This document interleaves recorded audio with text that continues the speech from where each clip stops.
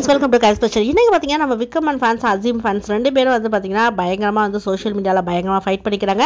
எதனாலன்னு பார்த்தீங்கன்னா நம்ம கமல் சார் வந்து வீட்டுக்குள்ளே போய் வந்து ஃபோட்டோ எடுத்தார்ல தோல் மேலே அசீம் மேலே கையை போட்டிருக்காரு. அதே வந்து பார்த்தீங்கன்னா வெளியில் வந்து அவருக்கு கப்பு கொடுத்த அப்புறம் வந்து பார்த்தீங்கன்னா அசீம் மேலே தோல் போடாமல் விக்ரம் மேலே போட்டிருக்குது. இதுலேருந்து கமல் சாருக்கு இந்த கப்புக்கு வந்து உடந்தையே இல்லை. கப்பை வந்து விக்ரமனுக்கு தான் கொடுத்துருக்கணும். அப்படிங்கிற மாதிரி சோஷியல் மீடியாவில் பயங்கரமாக வந்து விக்ரமன் ஃபேன்ஸ் எல்லாம் வைரல் பண்ணிட்டு இருக்காங்க.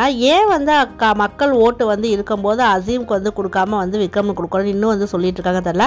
கண்டிப்பாக வந்து அந்த கப்பை வாங்கி திரும்ப கொடுக்க போகிறது கிடையாது. ஆனால் இன்னும் வந்து சோஷியல் மீடியாவில் பயங்கர ரூமர்ஸாக வந்து பரவிக்கிட்டே தான் இருக்குது கமல் சார் வந்து யதார்த்தமாக வந்து எப்போதுமே ஜெயிச்சவங்க மேலே தோல் போடாமல் வந்து தோத்தவங்க மேலே வந்து அவங்க நல்லா ஸ்ட்ராங் ஆக்கிறவங்களுக்காண்டி தான் தோல் போட்டிருக்காரு.